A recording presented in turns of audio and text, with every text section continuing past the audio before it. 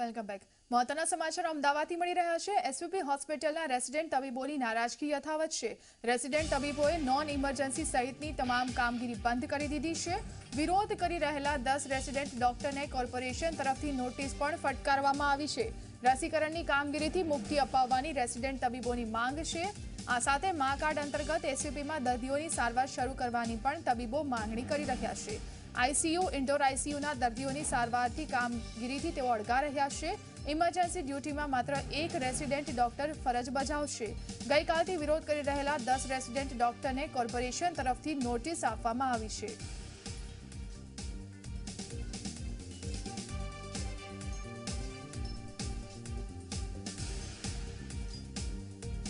તો અમદાવાદમાં એસવીપી હોસ્પિટલના જે રેસિડેન્ટ ડોક્ટર્સ છે તે હડતાળ પર છે. ગઈકાલથી જ તેઓ હડતાળ કરી રહ્યા છે. રેસિડેન્ટ તબીબોએ ઇમરજન્સી નોન ઇમરજન્સી સહિતની તમામ કામગીરી બંધ કરી છે. તેમની માંગણી છે કે રસીકરણની કામગીરી જે તેમને સોંપવામાં આવી છે, તેમનાથી તેમને અળગા રાખવામાં આવે. વધુ વિગતોને અપડેટ લઈશું અમારા સંવાદદાતા અમદાવાદથી અતુલ તિવારી આપણી સાથે લાઈવ જોડાઈ ગયા છે. અતુલ રેસિડેન્ટ ડોક્ટરની હડતાળ ચાલી રહી છે, તેમાંથી કેટલાક ડોક્ટર્સને નોટિસ પણ આપવામાં આવી છે. તો તેની કોઈ અસર થઈ છે કે હજુ પણ આ તમામ જે ડોક્ટર છે, તેમની માંગણી પણ અડગ છે?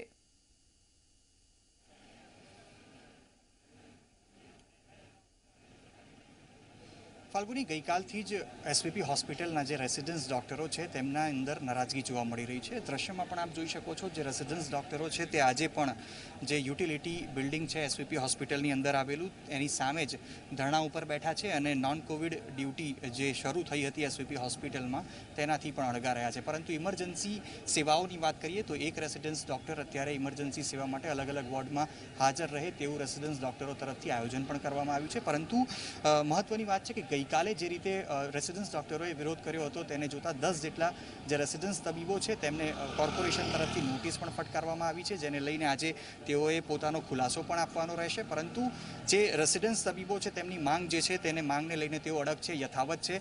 આપ દ્રશ્યમાં પણ જોઈ શકો છો, લગભગ અંદાજે બસો જેટલા જે રેસિડન્સ તબીબો છે, તેઓ હડતાલ આજે પણ કરી રહ્યા છે. સમગ્ર રાત્રિ દરમિયાન તેઓ પોતાના પ્રશ્નોને લઈને હડતાલ ઉપર રહ્યા હતા અને બેઠા રહ્યા હતા.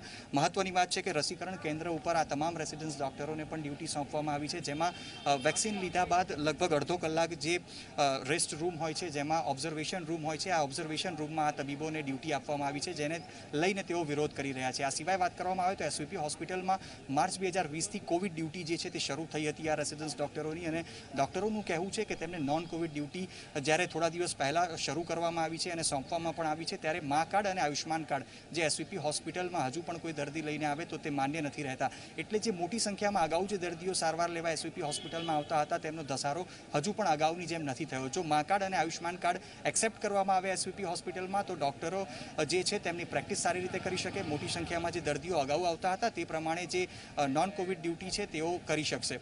પ્રેક્ટિસને લઈને તેઓ સવાલ કરી રહ્યા છે, કારણ કે છેલ્લા એક વર્ષથી પ્રેક્ટિસનો તેઓ કહી રહ્યા છે કે તેમને અહીંયા અભાવ થઈ રહ્યો છે. પંદરથી અઢાર લાખ જેટલી ફીસ જે છે તે ભરીને રેસિડન્સ તબીબો અહીંયા પોતાની રેસિડન્સ જે છે તે પૂરું કરતું, કરતા હોય છે, પ્રેક્ટિસ પૂરી કરતા હોય છે, તેને લઈને પણ તબીબો વિરોધ કરી રહ્યા છે અને સ્પષ્ટ તેઓની અત્યારે બે અતુલ જો ત્યાં જે રેસિડેન્ટ ડોક્ટર હાજર છે તેમની સાથે તમે વાત કરી શકો છો અને જો તેમની માંગણીઓ નહીં સંતોષાય તો તેમનું આગામી પગલું શું રહેશે?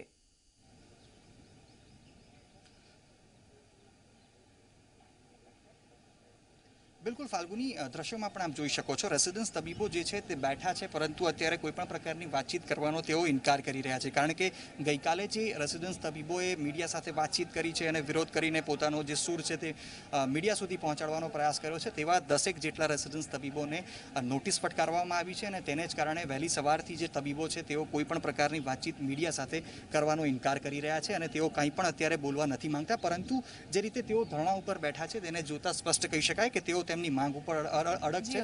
રસીકરણ કેન્દ્રની અંદર તેઓને ડ્યુટી સોંપવામાં ના આવે. આ સિવાય જે મા કાર્ડ અને આયુષ્માન કાર્ડ અંતર્ગત જે અહીંયા દર્દીઓ આવતા હોય છે તેમની જે સારવાર છે તે અગાઉની જેમ કરવામાં આવે તેવી તેઓ માંગ કરી રહ્યા છે અત્યારે ફાલ્ગુની.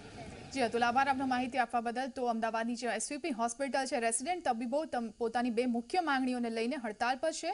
હડતાલનો આજે બીજો દિવસ છે અને દસેક જેટલા ડોક્ટર્સને કોર્પોરેશને નોટિસ પણ ફટકારી છે.